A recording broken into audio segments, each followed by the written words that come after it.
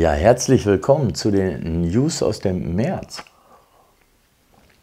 USA, neue Regeln im Weißen Haus.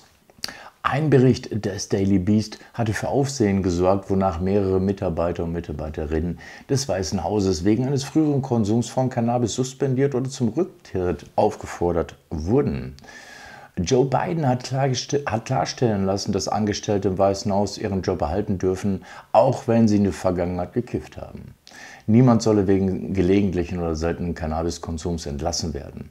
Die aktuelle Richtlinie ermöglicht es, rund einem Dutzend Mitarbeiter des Weißen Hauses weiterhin in der Verwaltung zu arbeiten.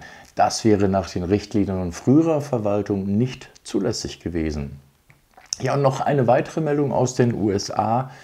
Äh, New York legalisiert Freizeitkonsum. Parlamentarier des US-Bundesstaates New York haben die Legalisierung des Verkaufs von Cannabis für den Freizeitkonsum vereinbart. Damit darf Erwachsenen im Alter von mindestens 21 Jahren äh, Cannabis auch für den nichtmedizinischen Konsum verkauft werden. New York mit seinen knapp 20 Millionen Einwohnern und der gleichnamigen Metropole wäre somit der 15. US-Bundesstaat, der Cannabis für den freien Gebrauch erlaubt. Mit der Entscheidung hat die Regierung nach äh, die Steuern im Blick, die künftig auf Cannabis erhoben werden können. Schätzungen zufolge könnten in den kommenden Jahren ein Markt entstehen, der 350 Millionen Dollar pro Jahr an Steuereinnahmen abwirft. Geplant ist eine 13-prozentige Umsatzsteuer, die sich Staat, Kommunen und Landkreise teilen. Obendrauf kommt eine weitere Steuer abhängig vom THC-Gehalt. Ja, zurück in die Vergangenheit. Deutschland. Der Bundesgerichtshof spricht weisendes CBD-Urteil. Für gute Laune in der Hanfbar in Braunschweig sorgte das Urteil der Richter. Die Hanfbar in Braunschweig hat es am Mittwoch quasi als Präzedenzfall vor dem Bundesgerichtshof in Karlsruhe geschafft und dort fiel das Urteil. Laut äh, BGH kann der Verkauf von Hanftee an den Verbraucher legal sein, aber nur, wenn sichergestellt ist, dass sich niemand daran berauschen kann. Das wurde also am Mittwoch höchstrichterlich klargestellt. We did it, hieß es vom Hanfbar-Inhaber in einer ersten Reaktion. Weiterhin wütet die Justiz in Deutschland, denn es gab Beschlagnahmung trotz dieses Urteils noch am selben Tag. Wegen des Anfangsverdachts des Verstoßes gegen das Betäubungsmittelgesetz hat die Polizei am Mittwoch das Unternehmen Hanfzeit in Steinheim durchsucht.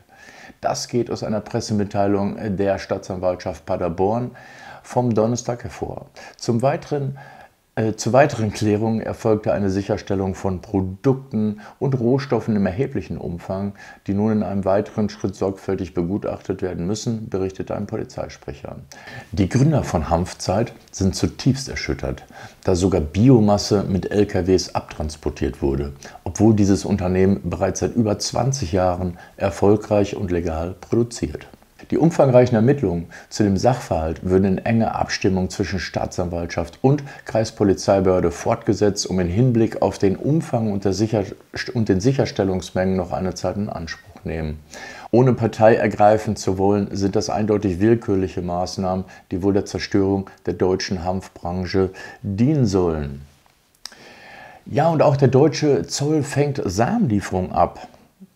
Der Zoll in Köln hat seit Jahresbeginn Cannabissamen im Werte von mehr als einer halben Million Euro aus dem Verkehr gezogen. Bis Ende Februar seien knapp 70.000 der Saatkörner entdeckt worden, teilte das Hauptzollamt Köln am Donnerstag mit.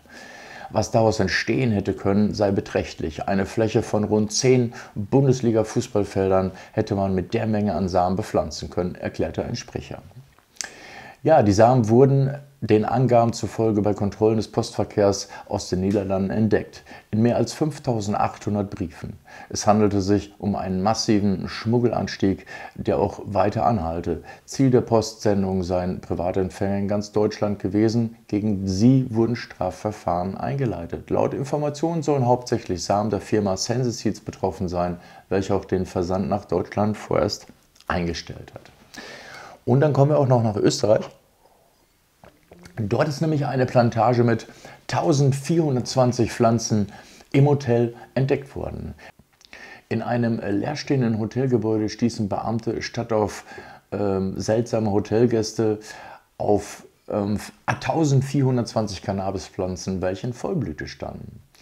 Auf der Plantage am Stadtrand in Wien waren die Ermittler gestoßen, nachdem ein europäischer Haftbefehl gegen den Mann vollzogen worden war, der den Gebäudekomplex im vergangenen Sommer übernommen hatte. Der 55-Jährige wollte das Restaurant, das sich im ersten Stock des Hotels befindet, wiederbeleben. Tschechische Behörden machten ihm aber einen Strick durch die Rechnung. Sie verdächtigten ihn, einer tschechischen Drogenbande anzugehören. Der Verdächtige versicherte, er habe mit der sich über zwei Etagen erstreckenden Innerplantage nichts zu tun. Er hatte für dieses Gebäude keine weitere Verwendung, hat es daher weitervermietet. Usbekistan. Genehmigung für Anbau von medizinischem Cannabis. Ein Cannabisunternehmen darf in Zukunft medizinisches Cannabis in Usbekistan pro produzieren. Die Regierung erteilte die Genehmigung für den Anbau und die Produktion von medizinischem Cannabis innerhalb der Landesgrenzen. Wachsen werden die Pflanzen auf einer landwirtschaftlichen Fläche von ungefähr 3000 Hektar. Nach Informationen der Nachrichtenorganisation Reuters werden die Cannabisblüten einen THC-Gehalt von 0,1 bis 0,2 Prozent haben und sind damit wesentlich weniger potent als die verfügbaren medizinischen Cannabissorten in Deutschland. Das fertige Produkt soll hauptsächlich exportiert werden. Paris. Beschlagnahmte Drogen waren offensichtlich Haribo-Erdbeeren. Noch am Mittwoch berichtete die Polizei, sie habe im nördlichen Vorort eine Werkstatt zur Verpackung der synthetischen Droge Ecstasy ausgehoben und heiße Partyware im Wert von einer Million Euro beschlagnahmt. Auf den beigefügten Fotos waren kleine Tüten mit rosa Pulver und rosa Pillen zu sehen. Zwei Tage später meldete die Staatsanwaltschaft nur knapp, dass das Pulver laut einer toxikologischen Untersuchung weder mit Betäubungsmitteln noch anderen giftigen Substanzen zu tun habe. Tatsächlich handelt es sich um zerkleinerte Schaumzucker-Erdbeeren von Haribo, die in Frankreich auch äh, Tagada genannt werden, präzisierte eine den Ermittlungen nahestehende Quelle. Ja, ein eher peinlicher Coup der Pariser Polizei statt Partydrogen beschlagnahmten die französischen Ermittler Haribo-Altbeeren aus Schaumzucker. Somit macht Haribo nicht alle Erwachsenen froh. In diesem Sinne, kommentiert fröhlich und bleibt gesund. Ähm, macht mal die Glocke an, dann kriegt ihr immer Bescheid, wenn ein neues Video rauskommt.